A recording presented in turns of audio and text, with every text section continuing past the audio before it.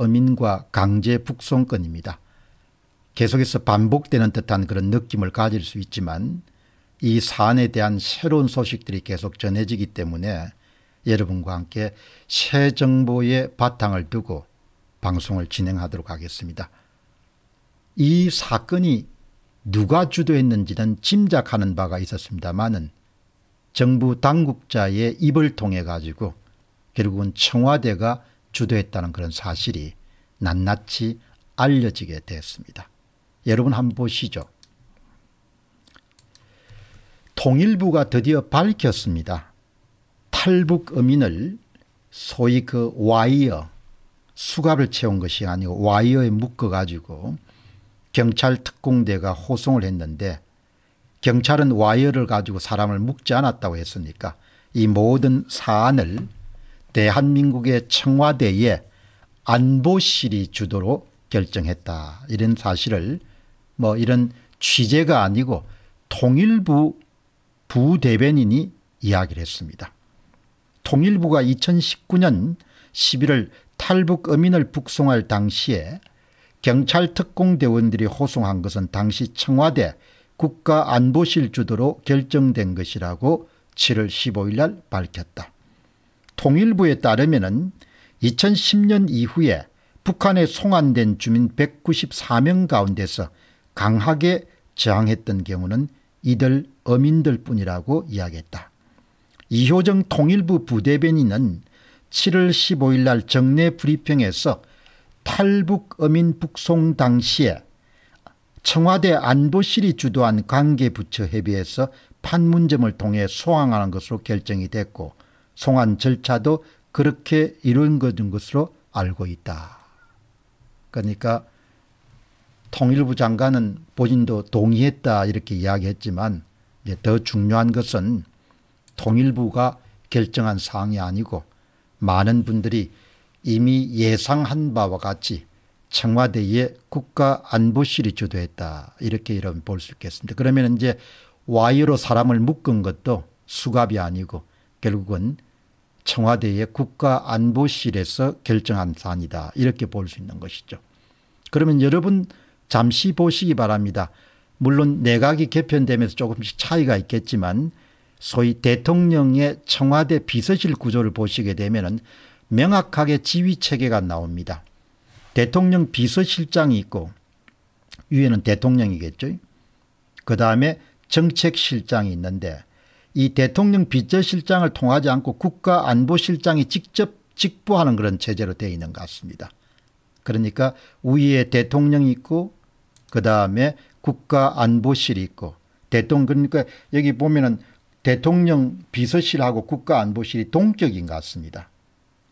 다른 이렇게 정책실이라든지 뭐 예를 들면 다른 그런 인사수석 정무수석은 대통령 비서실장 산하에 있지만 국가안보실장은 대통령 비서실장과 거의 동등한 그런 위치에 있음을 우리가 확인할 수가 있습니다.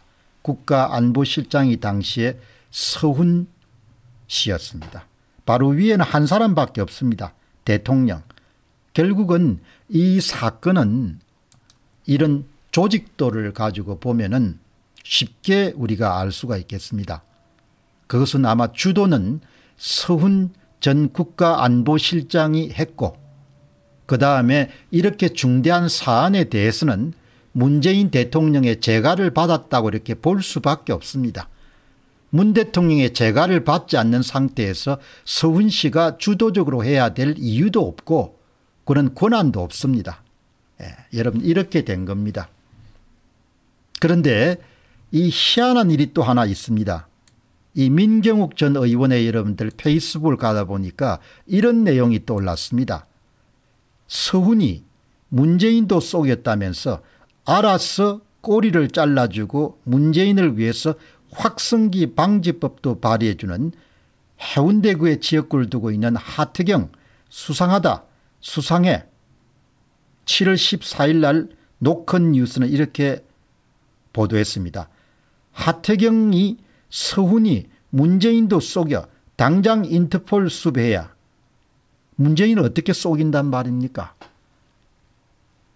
문재인 사저 시위 몸살 앓던 민주 하태경이 웬일이야 반색한 이 법 이거 아마 확성기 방지법입니다. 이것들 아마 7월 달에 또했 모양입니다. 그래서 민경욱 전 의원이 여하튼 수상한 작자다. 수상한 작자다. 예. 여러분이 익히 아시다시피 부산 광역시 해운대구에 지역구를 두고 있는 하태경과 그 다음에 한 번도 당선 경험이 없는 이준석은 짝짝꿍이 돼 가지고 사이로 이런 부정선거 문제를 국민의힘 내부에 철두철미하게 파묻기 위해서 아주 심하게 노력했던 보통 노력 정도가 아니고 아주 그냥 질주하듯이 노력했던 그런 두 사람입니다. 사람이 뭔가를 열심히 하거나 이렇게 하면은 그게 필연적으로 이유가 있는 겁니다. 이른바 인센티브 동기가 있는 겁니다. 하태경의 동기는 뭐였을까 이준석의 동기는 뭐였을까 그것이 저는 궁금합니다. 이것이 궁금하다 저것이 궁금하다 그 가운데 하태경과 이준석이 이토록 열심히 선관위를 대행하는 것처럼 그렇게 행동하면서 선거 부정 문제를 덮기 위해서 노력해온 이유가 뭐냐 이야기죠. 이 문제에 대해서 현명한 부산광역시의 해운대 구민들은 잘 아시기 바랍니다. 대한민국 역사에서 가장 험한 일을 이준석과 하태경이 한 겁니다. 물론 더 험한 사람들은 예, 선거를 조작한 사람들이죠. 그러나 그것을 은폐하기 위해서 노력하는 사람들도 그 못지않게 험악한 일을 한 겁니다. 민경욱 전 의원이 이렇게 이야기합니다. 여하튼 수상한 작자입니다. 서훈이 문재인도 쏘겠다. 당장 인터폴을 수배해야 된다. 7월 14일 날 노컷 뉴스입니다. 서훈이 어떻게 문재인을 쏘깁니까? 서훈이 어떻게 문재인을 쏘깁니까? 국가안보실장이 그러면 주도해가지고 탈북한 어민 두 사람을 안대를 씌워가지고 와이어로 뭡니까 사람을 묶어서 그렇게 내보냈단 말입니까 북한으로 북송했다는 말입니까 지나가는 개도 웃을 일이고 소가 더 심하게 웃을 일입니다. 문재인 대통령이 알았겠죠. 예. 이렇게 터무니없는 주장을 왜 펼치냐 이야기죠. 예. 정말 하태경 씨가 이렇게 처신하면은 하늘도 알고 땅도 알고 사람도 아는데 왜 당신이 그렇게 하느냐 이야기. 예? 예. 이 문제를 정말 다시 한 번 더 우리가 주목할 필요가 있다 이렇게 봅니다. 이와 관련해서 서해상에서 피살된 이대진 씨 피살과 관련해서 박지원 전 국정원장에 대한 출근 금지가 있었고 그리고 또 검찰 내 공공수사부가 서훈 전 국정실장은 관광 비자를 받아서 지금 미국으로 출국해 가지고 LA 인근에서 아마 머물고 있다는 그런 어, 정보가 아마 도, 도달한 모양입니다. 그런데 아무튼 간에 즉시 검, 이 귀국하면은 아마 검찰에 통보하는 그런 절차가 있는 모양입니다. 입국 시 통보 조치를 취했다. 이렇게 하는데 뭐 이렇게 서울중앙지검에서 사안이 이렇게 중요함에도 불구하고 출국 금지 같은 것도 없이 이렇게 하는 둥 많은 둥 이렇게 하는 것 자체가 여러분 다 뭡니까 윤석열 대통령의 지지도를 까먹는 겁니다. 당신과 당신이 국민들에게 뭐라고 했냐 이야기죠. 공정과 상식이라는 것을 외쳤기 때문에 국민들이 당신에게 표를 준 거다 이야기죠. 그런 당신이 뭡니까 권력을 잡은 이후에 공정과 상식에 대해서 뭘 했냐 이야기죠. 당신이 뭘 했냐 이야기입니까. 뻥치는 거 빼고 다른 건 뭐 했냐 이야기입니까. 그래 사람들이 화가 난 겁니다. 예. 지금 이 서울중앙지검의 공공수사부 여러분들 1부 3부에서 하는 거 보시기 바랍니다. 사람 다 나가고 난 다음에 예, 언론에서 우리가 적폐청산 차원에서 이 문제를 다루고 있다. 이렇게 뭡니까 쇼쇼쇼 하는 것처럼 보이지 않습니까 예. 이런 부분을 사람들이 못마땅해 하는 겁니다. 공정과 상식을 위해서 뭘 했냐 이야기 도대체. 예. 그걸 사람들이 예리하게 보고 있는 겁니다. 불만스럽게 보고 있는 겁니다. 예. 그 점을 아마 윤 대통령이 깊이 새겨서 음 사람이 니지게 행동하면 안 되는 거지 않습니까? 여러분 아시죠? 사회생활 하면서 정말 니지게 행동하는 사람. 여러분들 저는 이 니지게란 말이 경상도 말 같은데 니지게란 뜻 아시죠?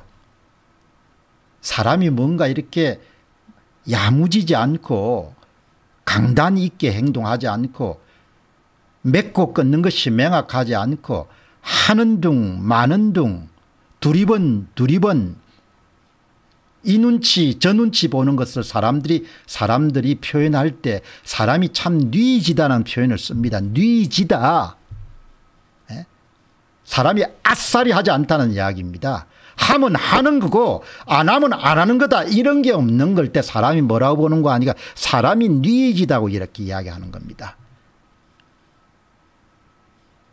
한참 활동할 때 많은 사람들을 되돌아보면은 북한 부하들하고 일을 할 때 항상 꿈던 사람들이 있지 않습니까 한 발자국 항상 넣는 겁니다.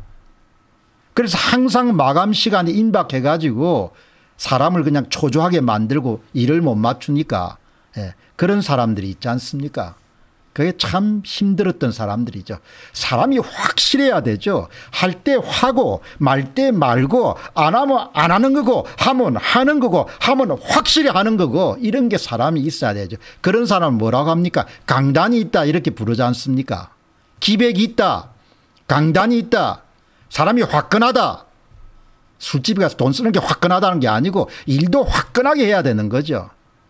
뭘 하고 있습니까 꿈떡이는 뭡니까? 천하의 꿈떡이 1등이라고 불러도 될 거죠. 에? 그러니 지지율 안 떨어지겠습니까? 제가 다른 사람들이 하도 뭡니까 왕왕거려서 그동안 전번에 뭐죠 윤석열 대통령이 이 문제를 안 다룰 거다. 선거 문제 안 다룰 것 같다.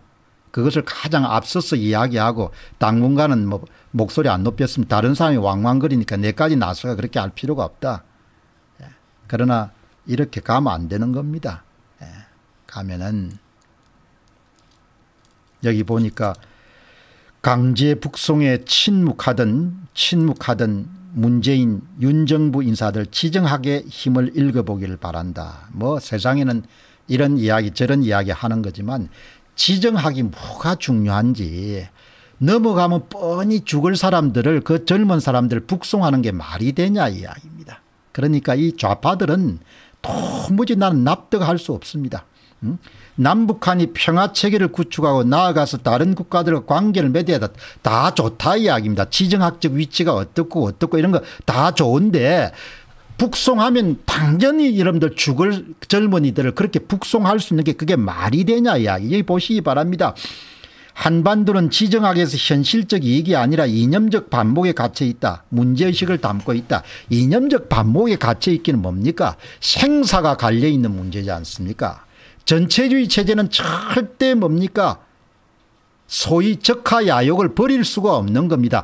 그게 국가의 존립 이유고 김씨 왕조의 존립 이유가 남한을 적하는 거잖아요. 에? 남한을 먹는 거지 않습니까 그런데 이런 허무맹랑한 이야기를 하는 겁니다. 이념적 반복에 갇혀 있는 것이 아니고 자유와 생명과 재산을 지키기 위해서 적절한 조치를 취해야 되는 거죠. 한반도 이익을 위해 남북한이 평화체제 구축에 나서야 된다. 전체주의 체제하고 뭡니까? 평화협정 맺어가지고 안 먹힌 데가 있습니까? 공산주의자들은 뭡니까? 무슨 서명이라든지 협정이라 이런 것을 뭐라고 생각합니까? 그냥 정권 탈취의 도구나 수단으로 삼지 않습니까? 이렇게 낭만적인 시각을 가져가지고 어떻게 살 수 있겠냐 이야기죠. 예? 이런 사람들이 뭡니까 선거 부정을 해가지고 20년 50년 장기 집권을 할 뻔했잖아요.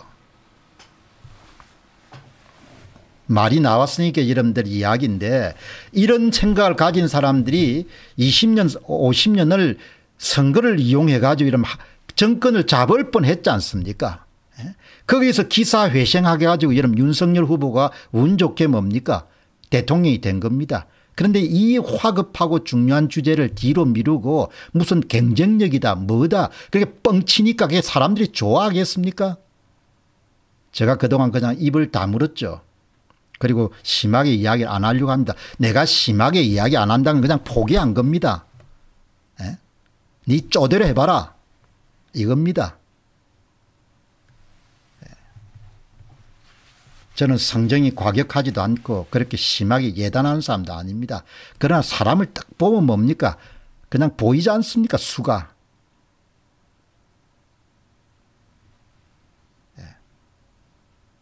수가 딱 보이지 않습니까 그냥 처음에 하는 걸 보면은 예. 여기 경상도 말은 아니라고 하는데 저는 뉘지다는 이야기가 어느 말인지 여러분들 누가 한번 찾아보고 한번 올려보시기 바랍니다. 나는 그 이야기가 분명히 기억되거나 사람을 아 저 사람 상당히 뉘지구나. 예.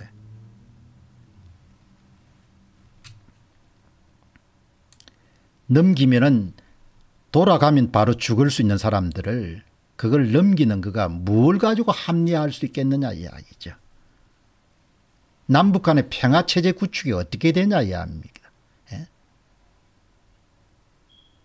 전체주의자들은 평화 협정이니 뭐 종전 선언이 이런 게 다 도구지 않습니까? 문 대통령이 저보다 나이가 한참 위인데 사람이 갖고 있는 이념이란 것이 이렇게 겁난 겁니다. 바뀔 수가 없는 사람들입니다. 이 사람들. 이런 사람들하고 여러분들 이런 사람 생각에 동조하는 한 30%의 사람들하고 함께 우리가 지금 살아가야 되는 아주 위태위태한 그런 상황인 겁니다. 언제든지 뭡니까 나라가 뒤집어질 수가 있는 겁니다.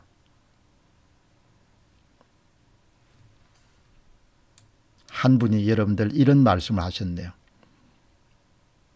문재인이란 사람은 자신의 정치적 야욕을 위해서 탈북자들을 사지로 밀어 넣었습니다. 천벌을 받을 것입니다. 2978명이 찬성하고 18명이 반대한 겁니다. 조응래 시민입니다. 사지로 밀어넣었지 않습니까? 예? 그 사지로 밀어넣은 것이 어떻게 이런 정당화될 수 있겠습니까? 한반도의 지정학적 위치 때문에 그렇게 했다. 말이 안 되는 이야기죠. 인간으로서 할수 없는 선택입니다.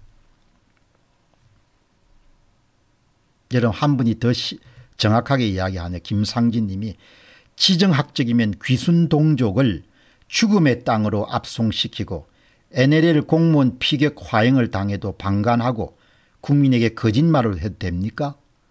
검찰은 저 정신 나간 사람을 법정이나 국제사법재판소에 세워서 반인권과 반인륜과 만행을 알리고 역사의 교훈으로 삼아야 됩니다. 여러분 정말 북송 사건은 시대의 반인륜 범죄입니다. 넘기면 죽을 사람들이지 않습니까? 난 도무지 뭡니까 이해를 할 수가 없습니다. 그 사람들이 선거 부정을 통해서 20년 집권했다. 한번 상상해 보시기 바랍니다. 그래도 윤석열에 대한 여러분들 비판을 삼가하는 것은 그나마 여러분들 이재명 후보 대신에 윤석열 후보가 됐으니까 숨이라도 여러분들 쉬고 여러분 살수 있다. 이렇게 된 거 아닌 겁니까? 예. 그런 거지 않습니까? 우리가 사랑은 여러분 낭만으로 해야 되죠. 예, 사랑은. 그러나 삶은 낭만적으로 하면 펀펀히 당하지 않습니까? 결혼생활 하면서 부인들 이야기 들어보면은 바깥에만 나면 쏘가서 오는 사람들 사기당해서 오는 남편하고는 도저히 같이 살 수 없다는 거 아닙니까? 사람이 야무지야죠. 적의 의도나 의중을 파악하고 속지 않아야 되지 않습니까? 전체주의자들이 어떤지 알지 않습니까? 공산주의자들이 어떤지 알지 않습니까?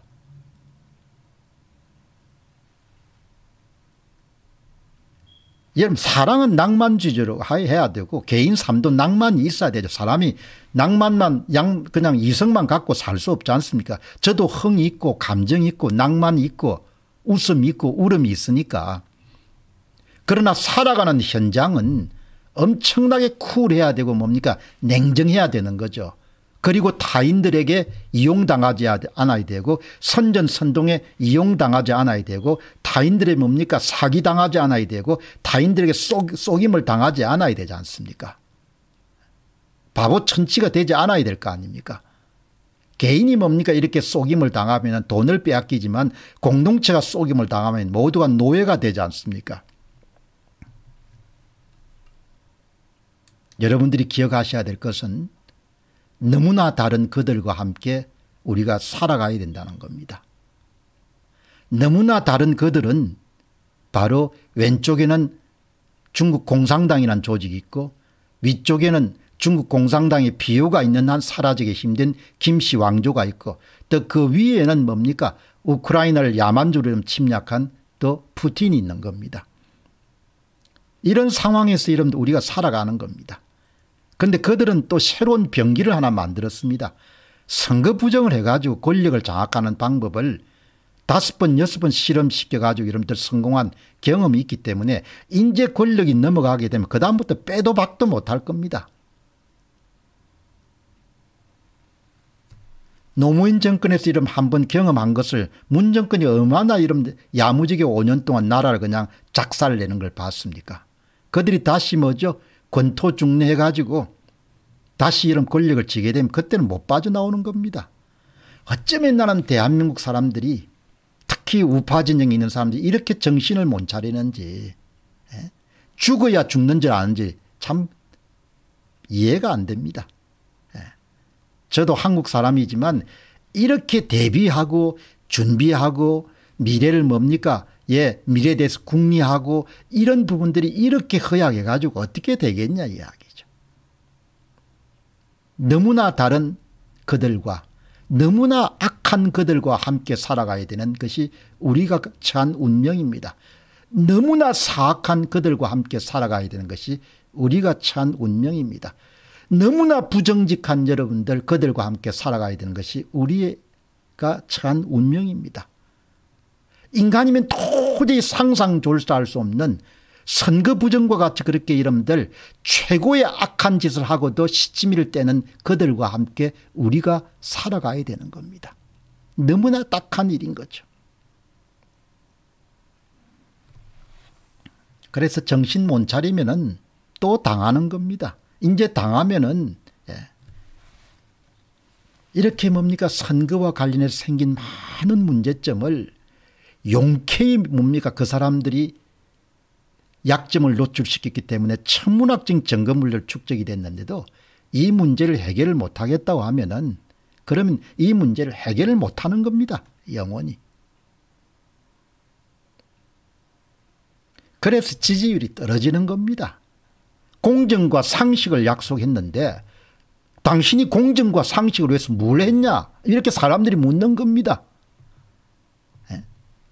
세상의 많은 논평가들은 저마다의 방식으로 다 여러분들 설명하지만 인사가 어땠다 김건희 여사가 됐다 다 여러분들 가짜입니다. 옳지 않다고 저는 봅니다. 저는 뚜렷하게 믿습니다.